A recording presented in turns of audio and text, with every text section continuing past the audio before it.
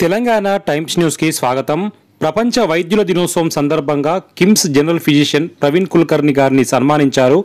Lions Club of Hyderabad Banjara pairs club ఉపాధ్యక్షురాలు శ్రీమతి చంద్రకళ.